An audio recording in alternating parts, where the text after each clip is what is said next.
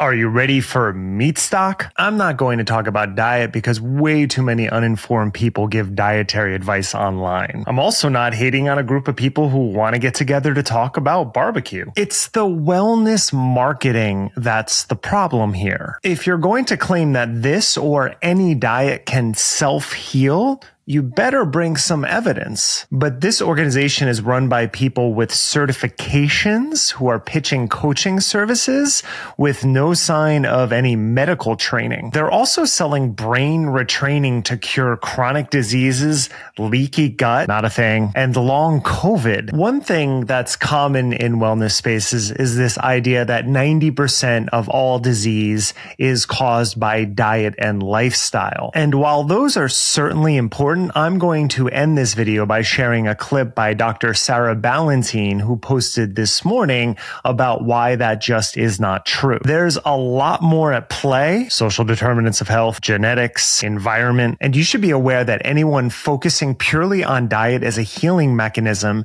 especially if they don't have medical training, is just selling you on something. And this is one of the most common problems that I have with the wellness industry. Diet it matters. There's just a whole lot more that we need to talk about. So here's Dr. Ballantyne, who you should definitely give a follow. Let's actually talk about the 90% number because it's misleading. About half of Americans have at least one diet preventable disease, which, yes, does mean that if that person had had higher quality diet, that they could have avoided that health problem. First of all, this does not mean that that health problem is that person's fault. Let's let's be clear on that. That soapbox rant could be a whole other video, but the extrapolation of that statistics is where 90% comes from. The idea that 90% of diagnoses are in this category of diet preventable diseases. But that does not mean the same thing as saying that 90% of what happens to you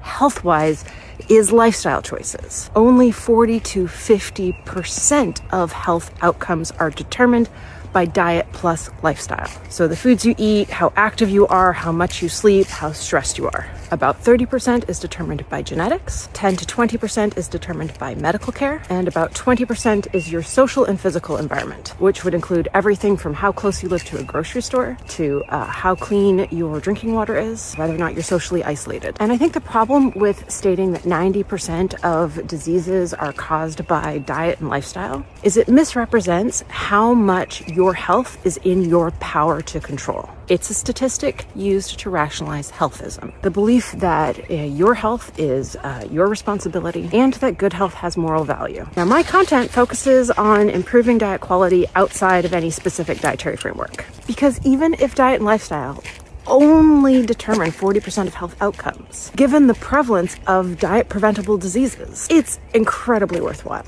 And what I do in my content is focus on accessible, affordable foods, permissive dietary structures instead of restrictive ones so you can get off the diet roller coaster, and sustainable lifelong eating patterns. But it is important to know that 50 to 60% of your health outcomes are not determined by things in your control. Diet can get you a long ways, but it's not everything. It's not actually 90%. And those who claim otherwise are trying to sell you something.